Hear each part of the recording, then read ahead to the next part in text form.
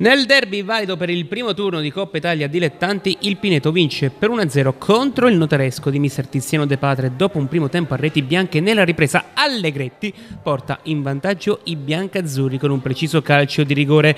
Per l'11 di casa domenica prossima debutto casalingo contro la neopromossa Termoli. Per il notaresco trasferta contro il Matese. Calcio d'inizio per i padroni di casa. Il derby inizia con il consueto equilibrio. Il primo squillo arriva al diciassettesimo. Allegretti punta l'aria e conclude. L'ex Shiba blocca senza problemi. Il rosso-blu rispondono al ventottesimo. Su corner Cantarini sale in cielo di poco sul fondo.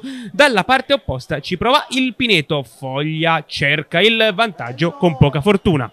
Nella ripresa il match ha subito il primo sussulto. Gurini neoentrato viene atterrato da Iulitti e conquista la massima punizione. Dal discreto Allegretti non ha problemi e spiazza Shiba per il vantaggio locale. Sempre i rivieraschi vogliono il raddoppio. C'è Cacci in corna, blocca in due tempi il portiere ospite. Ancora i biancazzurri spingono. Giambè è entrato da appena 60 secondi, vuole subito la marcatura personale.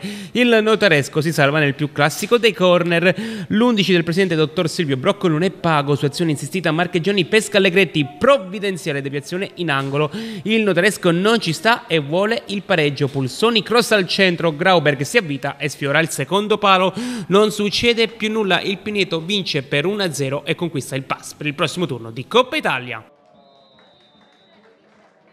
Sì, beh, secondo tempo abbiamo cambiato modo quindi abbiamo messo in pratica un modulo diverso su cui abbiamo lavorato, ci siamo espressi un po' meglio, soprattutto, ma soprattutto c'è stato più movimento senza palla, quindi abbiamo fatto eh, qualche buona azione perché c'è stato uno sviluppo con palleggio, andare sull'esterno, abbiamo messo diversi palloni dentro, poi non abbiamo concluso, non abbiamo fatto male, però almeno abbiamo dato un'identità di squadra e di, di, gioco, ma è chiaro che dobbiamo migliorare la prima partita, eh, contava passare il turno, l'abbiamo fatto, e adesso il modulo se sarà quello del secondo tempo o quello iniziale, vedremo un attimo un po' eh, anche i recuperi di giocatori importanti che abbiamo, visto in questo momento abbiamo delle problematiche perché Mingleri oggi ha giocato dopo tre mesi, lo Sicco è uscito per un piccolo fastidio muscolare, abbiamo Traini che ancora si sta curando dalla bubalgia, un 2004 che ci può dare alternativa come modulo, adesso in questo momento un po' il modulo ce lo, ce lo indirizza i giocatori che abbiamo a disposizione, quindi dobbiamo cercare di adattare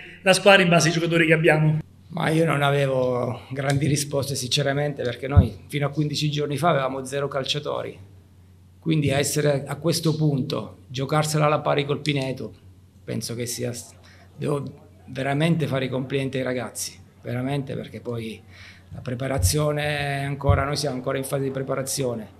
Ripeto, zero calciatori 15 giorni fa, diverse persone che ci mettono il bastone tra le ruote per per mille motivi e quindi sono molto molto soddisfatto.